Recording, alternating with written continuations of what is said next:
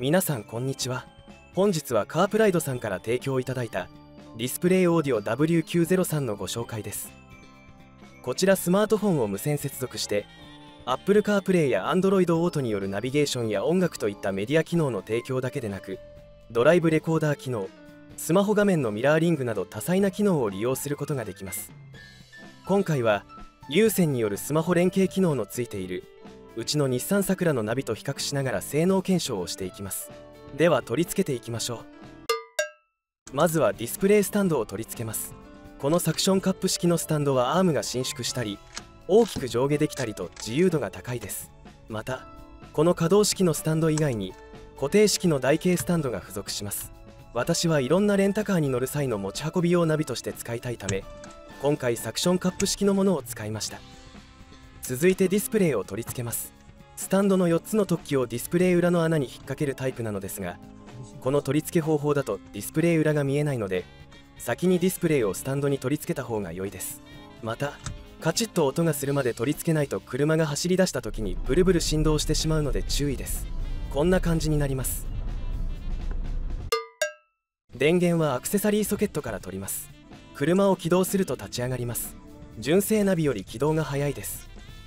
Bluetooth でスマホと W903 をペアリングしておくと起動してしばらくするとスマホが無線接続されて Android Auto が起動します。日産純正ナビの有線接続は不安定なのでましてや無線接続はどうかなと思いましたがこちらはスムーズにつながります。音声はこの W903 についているスピーカーから出力されます。内蔵にしてはいい音ですが車のスピーカーも使いたくなります。右端に出ている補助ボタンを押して Android オート画面から抜けて W903 の設定画面を出してオーディオ出力ボタンをタップして Bluetooth を選択します。スマホと車載ナビやオーディオを Bluetooth でペアリングしておくとこれで音声だけうまいこと飛んでくれて車載のスピーカー環境を活用できます。ただ Bluetooth 環境がある車ばかりではありません。そういう時は FM トランスミッター機能を使います使ってない周波数帯に W903 と車の FM ラジオをそれぞれ合わせます。これでラジカセだけの車や商用車もクリアな音で音楽が楽しめます。あとは AUX 出力もありますがさくらには AUX 入力がついていません。入力がある車は付属のオーディオケーブルで接続することで音楽を鳴らせます。でこの右端真ん中に出てくる補助ボタンなのですがオプション設定で非表示にすることはできます。が Android オート画面から W903 の設定画面に移動したりドラレコ画面を出したり音声ボリューム調整ができたりと便利なのでこのボタンは常に表示にしておいた方が使いやすいです。Android オートで地図アプリとオーディオアプリを使いながら走行しています。音声を車のオーディオに Bluetooth で接続していると車のステアリングスイッチで音楽の送り戻しやボリューム設定ができて便利です。でちょっと W903 がフラフラしていますが私が今後の持ち運び用に Amazon の移動式カーナビスタンドを固定台に使っているためでダッシュボードにテープで直接固定するともっと安定します。続いて音声認識を試してみます。OK Google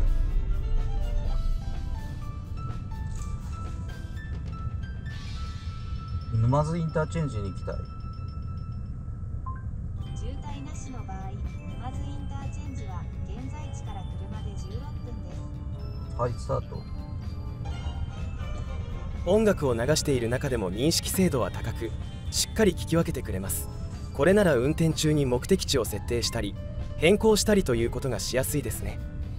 動作は非常に安定しています。無線接続ですが使っている間に変な挙動はありませんでした。日産サクラの純正ナビの有線接続は音声入力時の検索や画面遷移などで負荷がかかると画面がブラックアウトして戻ってこなくなったり画面が生きていてもタッチが効かなくなったりよくしますがこれはそういうことがなく安心して使うことができます。画質は十分綺麗ですがよく見ると無線接続のためかちょっとザラザラ感があります。有線接続の方が画質はクリアですが使用上問題ないのと無線接続の手軽さ便利さの方が勝ります。続いてドラレコ機能を見ていきます。こちらモニターの背面に上下伸縮する350度回転式のカメラがついています。360度回転はしませんので注意です。これで前面側面室内を映し出すことができます。別売りで AUX インに挿すタイプのバックカメラがあります。それを装着すると車の後方を録画することができそれをデジタルバックミラーとして活用することができます。今回はフロントカメラを前方に向けて録画しています。横長のモニターですが録画動画はデフォルトだとフル HD サイズ 1920×1080 の16対9動画となります。GoPro から W903 のドラレコ動画に切り替えました。広い範囲を見るためにかなり広角となっています。また音声は取るか取らないか選択することができます。車の中で大声で歌を歌う人は音声取らない方が良いですね。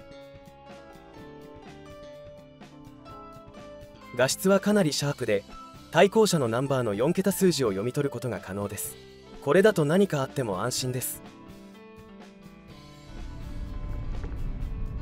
こちらのカープライド W903 無線でスマホ連携ができてさらにドラレコ機能もあるという便利さです。モニター電源スタンド含めてコンパクトなのでオーディオしかついていない昔の車のアップデートやレンタカーで古めのカーナビレスの車に乗る際の持ち込みナビとして非常に便利に使えます。でこのフロントカメラの映像ですがスマホから見ることができます。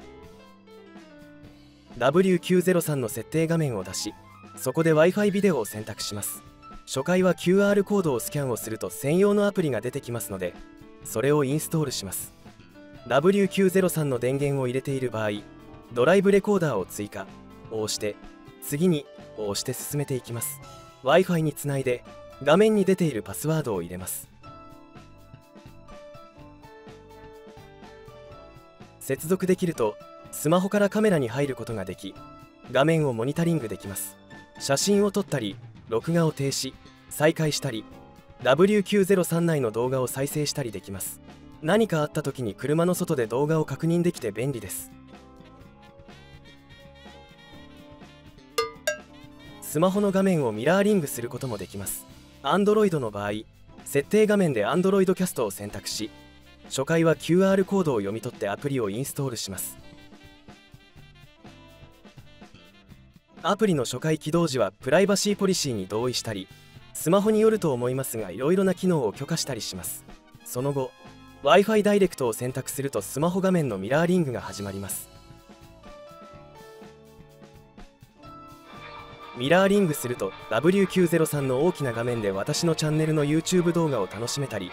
プライムビデオでダウンロードした映画をオフライン視聴したり Kindle アプリなどで漫画や雑誌を読んだりすることができます。ミラーリングの仕様なのでしょうがないところですがスマホの画面を切ってしまうとミラーリングの画面も切れてしまうのがやや残念です。また縦画面だとなかなか狭いです。ミラーリングは横画面に対応している動画アプリや写真アプリでメディアを閲覧するのに向いていますね。というわけで今回カープライドさんのディスプレイオーディオ W903 の機能を一通り試してレビューしました。先ほども述べましたが古い車のインフォテイメントシステムをスマホとの連携によるナビゲーション機能の追加とドライブレコーダー機能で一気に近代化できるのがとても良いです。また無線接続が安定しているのが良いですね。有名メーカーの純正ナビなのにスマホとの有線接続がブツブツ切れる経験を多数している私としてはこの安定性は目から鱗でした。ナビも音楽もスマホで完結する人には高いメーカーオプションディーラーオプションナビをつけなくて良いのでおすすめの商品です。車のスピーカーを活かすなら車側に安価なワン DIN の Bluetooth 対応または AUX 入力のあるオーディオプレイヤーか FM ラジオを入れれば OK です。さらにドラレコ機能付きなのでこちらも高めのメーカーディーラーオプションのドライブレコーダーをつける必要がなく初期費用を抑えることができます。新車にナビをつけるのが当たり前になっている昨今の流れに一石を投じるこのディスプレイオーディオ。かなり新鮮な感覚でスマートなアイテムです。一度試してみてはいかがでしょうか？